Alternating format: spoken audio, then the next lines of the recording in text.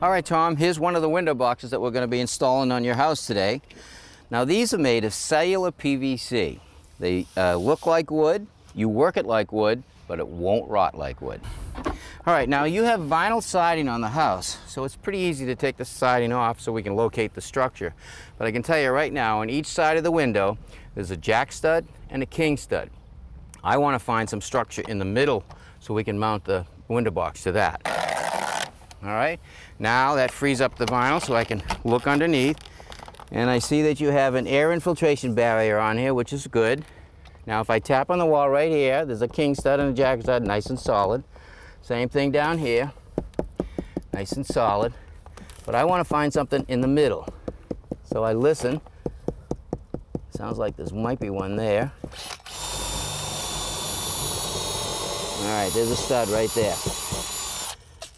All right, now what I'm going to do is I'm going to take a reference off of the hole that we drilled into the structure and mark the window right there as a reference.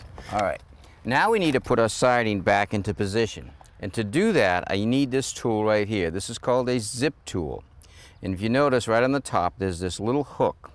That hook will go under the siding and hook on that edge, locking the siding into position. Now I'm just gonna hold the box to the underside of the window and just eyeball it, but center it.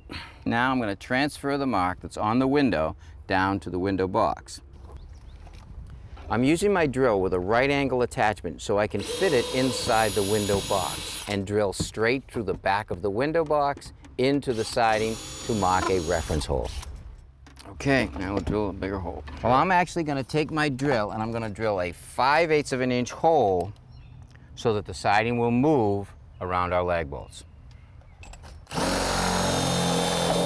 Now I need to drill a hole into the structure. So when I screw in the lag bolt, I won't split the structure.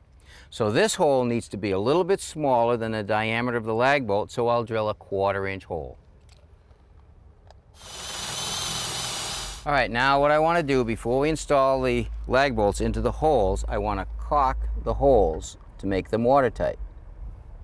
Now I've started the lag bolts into the hole at the back of the window box, and we'll just line them up with the hole in the wall.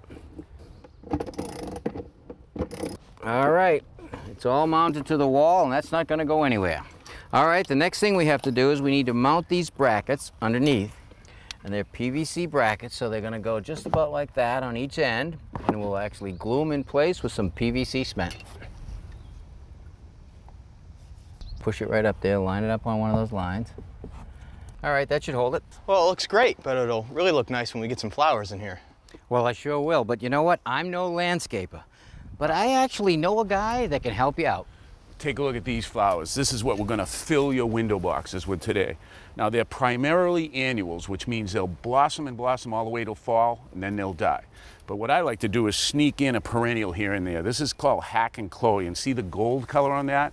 That'll last all season long, but it's a perennial. So at the end of the season, you can take it out of the window box and plant it out in the garden. This is a chartreuse sweet potato vine. This is gonna hang over and grow right over this edge of the pot.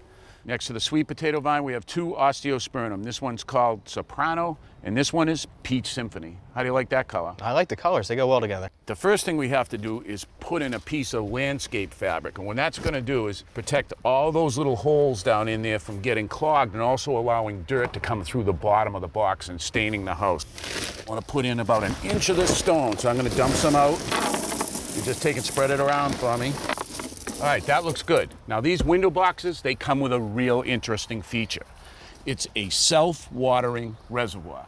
This is inch and a half PVC pipe that has a couple elbows glued on it here, and it comes down, an end cap, and then a fill here. Now you put water in this when you're watering your plants, and the water comes down, fills the pipe, and then it will wick out into the soil. Instead of watering two or three times a week, you may only water once a week.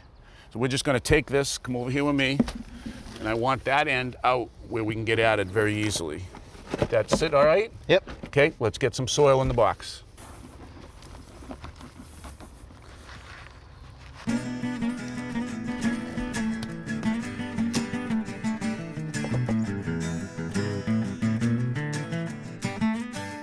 Nice job, it looks really nice. Now there's fertilizer in this soil, but it's gonna take a while to break down. So I added liquid fertilizer to this watering can and I'm giving the plants a good drink to really get them off on the right foot. The rest of the time you're gonna water these boxes with that wand. Take and hit that for me. See what a nice stream of water? It's gonna make it very easy to keep these nice and wet. But for now, I want you to fill that reservoir up for me. Wow, Roger, it looks amazing.